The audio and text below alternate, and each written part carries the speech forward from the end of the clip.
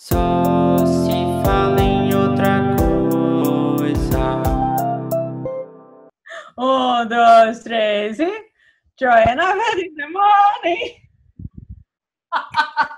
Oi, eu voltei. Falei que eu ia voltar? Voltei. E o vídeo de hoje é sobre uma série que eu tô reassistindo. No geral, eu não gosto muito de reassistir séries ou filmes, porque eu sempre prefiro tentar assistir algo novo que vou me surpreender. E eu acho que reassistir o negócio eu não vou gostar, porque eu já vou saber o que acontece, aí eu não vou achar graça na coisa. Tipo quando eu vou num restaurante que tem um prato que eu sei que é muito bom e que eu gosto, mesmo assim, às vezes eu prefiro pedir outro, só pra tentar me surpreender com alguma coisa diferente. Enfim, eu tô reassistindo Community, que é uma série que eu assistia muito na minha adolescência, e agora tá inteira lá na Netflix. E aproveitando que eu tô de quarentena aqui em casa, tô reassistindo. E reassistindo, teve várias coisas que eu achei estranho. Eu falei, nossa, eu gostava disso, eu dava risada disso na época. Mas no geral eu me surpreendi porque mesmo sabendo mais ou menos o que vai acontecer, eu tô gostando muito de reassistir. Porque eu tô me surpreendendo com várias coisas que eu não lembrava e várias coisas que eu acho que eu nunca reparei. E é meio como escutar um álbum, uma música que eu gosto. Quer dizer, tem uma medida também pra isso. Não vou ficar escutando a mesma coisa toda hora, porque uma hora enjoa. Mas eu gosto de ficar ouvindo a mesma música e o mesmo álbum que eu gosto, porque cada vez que eu escuto, dependendo do contexto, dependendo do que eu tô pensando, eu reparo em coisas diferentes. Mas sobre community, qual que é a história? É a história de um cara que é advogado, mas ele perdeu o emprego porque o diploma da faculdade dele era falso. E aí ele decide entrar na faculdade meio furreca, assim, só pra conseguir esse diploma e tocar logo com a vida dele. Logo no primeiro dia ele tenta montar um grupo de estudo só pra se aproximar de uma garota lá, mas acaba aparecendo várias outras pessoas esquisitas que ele não chamou e no final todos viram grandes amigos e vivem altas aventuras. Mas essa série brinca muito com os formatos e o estilo das histórias de cada episódio. E você nunca enjoa porque você sempre fica curioso como que eles vão contar de um jeito maluco a próxima história. Tem episódio que todo mundo vira personagem de massinha, tem um episódio que vira uma grande guerra apocalíptica de paintball, tem episódio que todo mundo vira zumbi, tem episódio que parece um filme de máfia. Tem um episódio que tem o personagem fazendo um documentário sobre o episódio. Tem um episódio que eles constroem um grande forte de edredons e travesseiros. E tem muitas músicas. Tem episódio musical e tem várias piadinhas musicais também, que eu gosto muito. E eu não conheço muitas pessoas que assistem essa série. Quem indicou essa série pra mim foi a minha irmã, a Suzy, que mora lá em Recife. E aí hoje mais cedo eu conversei com ela, tentando entender quais são as coisas que a gente gosta nessa série, por que a gente gosta tanto dessa série. E eu gravei essa conversa. Você poderá assisti-la agora, aqui, no meu canal do YouTube. Eu acho que tá gravando. É, tá, não, essa aí essa é a primeira coisa que eu, ia perguntar, assim, quem que, da onde que você começou a assistir? Eu não sei, eu não sei. Eu fiquei tentando lembrar depois, quando você mandou a mensagem. Na época que eu assistia, eu trabalhava na agência e ninguém assistia. E eu recomendei pra uma pessoa, e ela assistiu, tipo, um episódio e falou, ah, não. Então ninguém que eu me lembro, assim, que eu trabalhava convivia na época, ninguém assistia. Então eu não sei. Eu acho que Community é uma série que nunca existiu, assim, é tudo uma, um grande Uma um ilusão. delírio coletivo, é.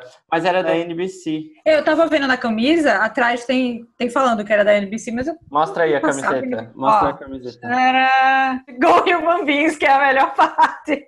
E ela serve pra tudo, né? Porque Go Human Beings é tipo todas as situações. Quarentena, vida dura, Go Human Beings, né? E como é que você explicaria o. Se você tivesse que explicar essa série pra alguém muito rápido, assim? Eu acho que o principal motivo. Eu, ontem eu fui rever. E aí o que me chamou mais atenção nos três primeiros episódios, que era o texto, pô. É muito bem escrita. Que o texto, ele é o texto da série em si, né? Enfim, o que os personagens falam, etc. E ele também é meio que tirando onda com o formato de TV, né? Mas o os primeiros episódios, acho que o segundo episódio, ele já começa com, sei lá, os personagens andando, larará, chegando no, no ponto principal lá. E aqueles anúncios do, do Dean, né? Que fica rolando. E aí eles sentam e falam assim: Eu gosto dos anúncios do Dean porque parece que a gente tá se arrumando para começar um programa de televisão. Aí alguém, acho que sei lá, acho que é Abed fala assim: É, mas quando aí alguém fala que isso parece um programa de televisão, quer dizer exatamente que nós não estamos num programa de televisão. É muito. Nossa, é muito bem escrito mesmo. Tem sempre um episódio que. Uns episódios que entram muito na psicologia dos personagens, profundo, de um jeito bobo. Eu acho que tem, um,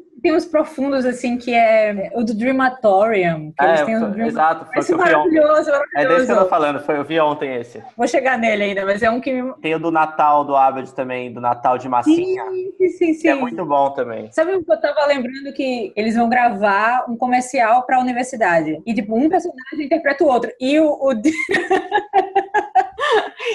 Eu lembro que o Dean resolve fazer Jeff, Jeff faz o Dean. E o, episódio vai. Daqui a pouco eles se tornam os personagens, É. assim. Eles, já, Não, é eles passam o, episódio todinho interpretando o outro. Daqui a pouco eles já estão se sentindo o outro, assim. É muito legal. Eu acho que você, você gosta dos personagens. Eu acho que não, não importa, assim, tipo, a história mais bem feita, isso, sei lá, filme, livro, tudo. A história mais bem escrita em termos de formato não pega se você não gostar dos personagens, né? Tipo, um que sempre aparece, eu fico, tipo, vai ser. Vai, tipo, essa cena vai ser boa, é o Jim. O Dean, também, também, também. com certeza, com certeza. É um do, é de, também de ser engraçado, assim, que tem toda a coisa dele sempre entrar com a fantasia e tal, com uma coisa nada Com um trocadilho, né? Sempre tem um trocadilho.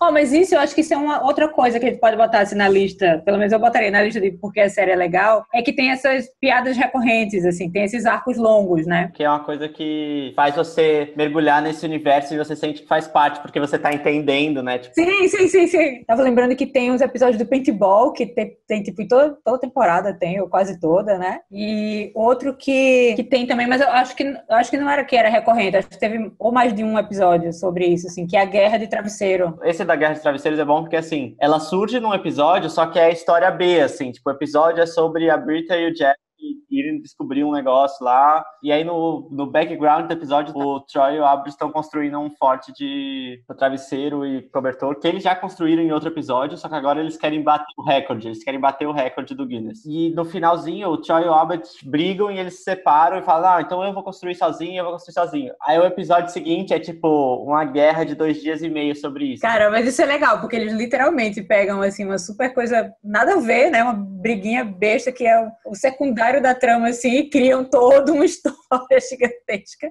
Eu assisti só os primeiros episódios, eu acho que eu quero assistir agora o resto, porque eu, eu quero fechar, assim, eu quero ver como termina. Eu também, Suzy, eu também. É isso, eu vou continuar assistindo essa série. Eu tô terminando a terceira temporada agora, mas eu tô curioso para saber o que, que acontece na série, o que, que acontece com a série. Já que ela já foi cancelada, já voltou, já ficou ruim, já ficou boa. Eu não lembro direito como terminou, acho que eu nunca cheguei até o final da sexta temporada, eu desisti dela em algum momento. Como recado final, me diz aqui nos comentários, você já assistiu Community? Você gosta, você não gosta? Essa existe mesmo? É um grande delírio meu e da minha irmã. Ah, e se você quiser acompanhar outras bobeiras que eu tenho produzido pra internet, me segue lá no Instagram. O meu arroba é esse que vai aparecer na tela em 3, 2, 1. Só se fala em